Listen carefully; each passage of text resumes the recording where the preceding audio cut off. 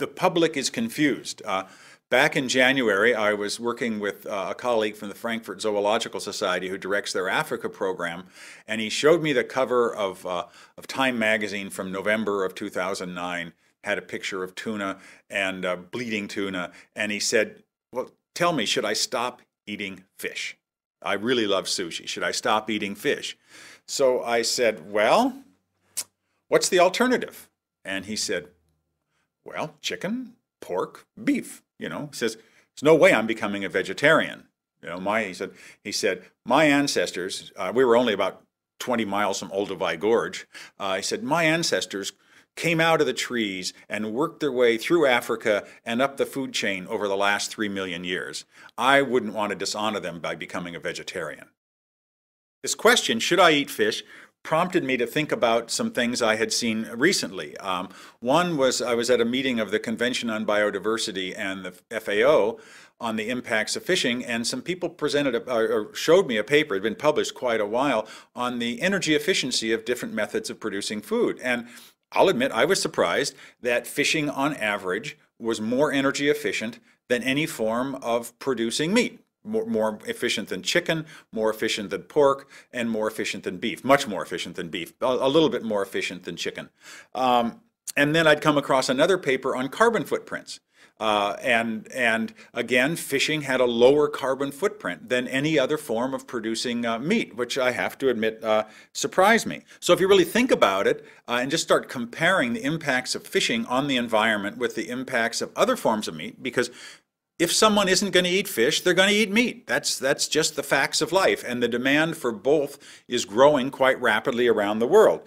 Uh, and so, if if you know if, if Greenpeace doesn't want people to eat hoki, that means more meat's going to be eaten.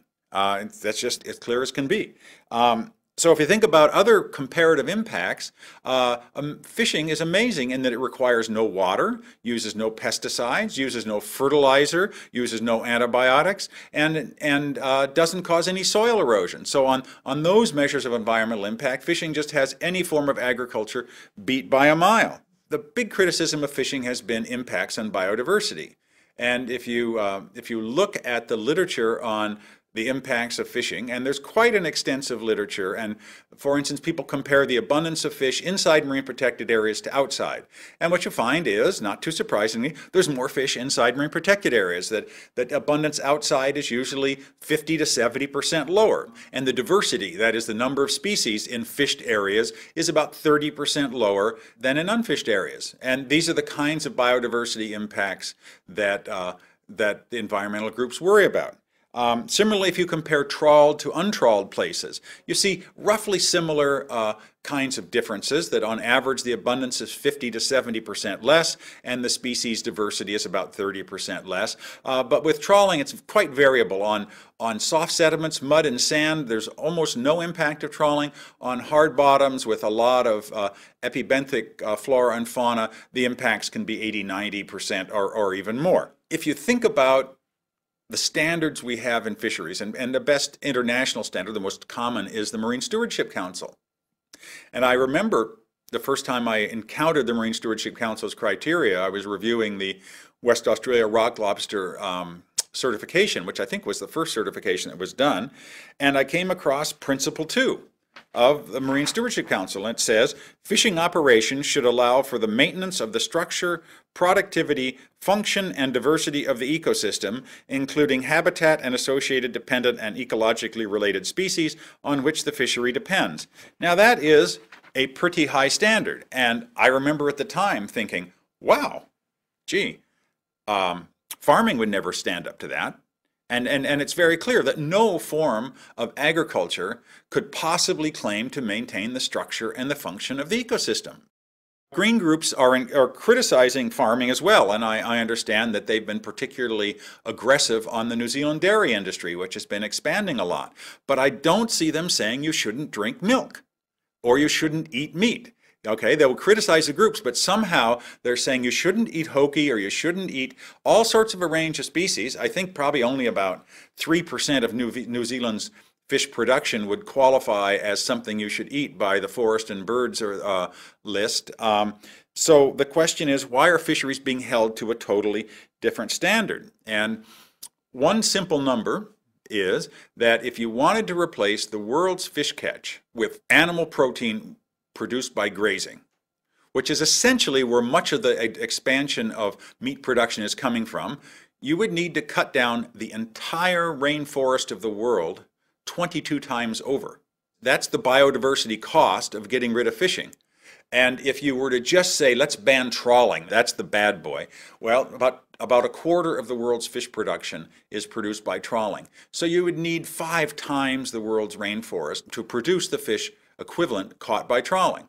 Um, so the, the point here is that uh, if we, if we consider the impacts of not eating fish on biodiversity, they are actually quite a bit higher than those of eating fish. One way to reduce impact is to not eat meat because meat is, it takes a lot of land and uh, causes a lot of problems. But uh, if you compare fish to just farming, let me tell you, my, my wife used to be an organic vegetable farmer.